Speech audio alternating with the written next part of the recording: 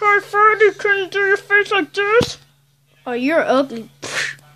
Now you're really ugly.